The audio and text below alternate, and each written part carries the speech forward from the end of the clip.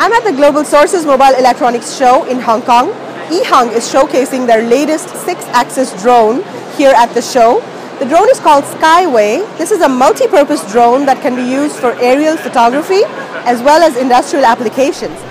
So Skyway is a six-axis drone that can be adopted in a wide range of scenarios, including professional aerial filming, and uh, regional logistics, climate monitoring, uh, disaster investigation, agricultural surveys, and even criminal investigations.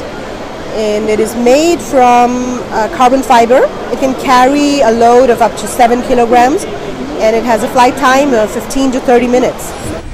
Now, most companies have uh, their own apps to control drones, but the unique feature of EHang's app is that uh, there is map navigation. So, what that means is that you can set the path for the drone within the app, within the app.